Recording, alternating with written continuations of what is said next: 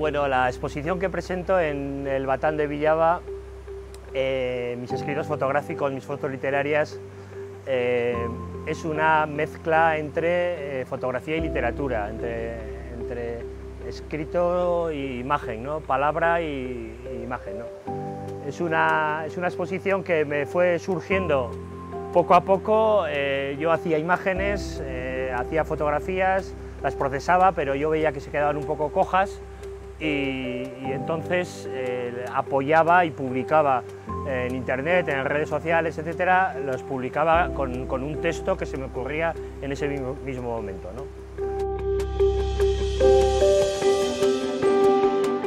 Invito a todo el mundo los sábados y domingos a pasarse por el Batán de Villava, que aparte de ver un, edificio espectacular y con muchísimo interés, eh, pueden pues, visitar mi exposición.